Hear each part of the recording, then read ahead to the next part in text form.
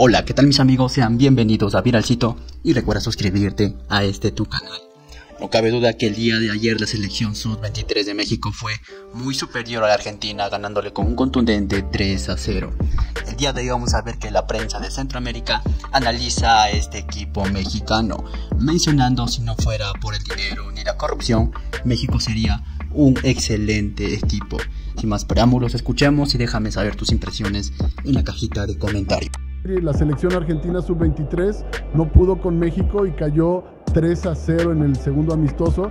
Lo que más sorprende de esto es que México sí tiene buenos jugadores. Recuerdo hace unos años cuando fueron campeones de los Juegos Olímpicos se hablaba de muchas promesas, Marco Fabián, o el portero que siempre estuvo bajo la sombra de Ochoa, por lo que si no hubiera corrupción, yo creo que México sería un buen equipo.